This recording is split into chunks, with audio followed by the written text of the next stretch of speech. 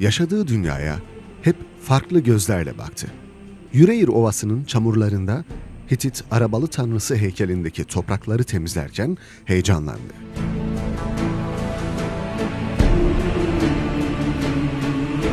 Tarihi binalardaki kullanılmayan eşyaların satılmasına isyan etti.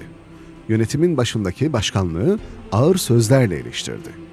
Çukurova ve Anadolu'nun her yerinden sayısız tarihi eserin yurt dışına kaçırılmasına tepki gösterdi, basın aracılığıyla kamuoyunu uyardı. Vatanı sevmenin tarih ve kültürü sahiplenme, koruma olduğunu her fırsatta dile getirdi.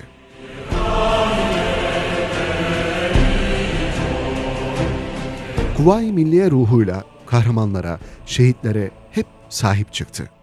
Adana'da yıllar süren Kültür ve Müze Müdürlüğü görevine sürgün yapar gibi tayini çıkarılarak son verildi.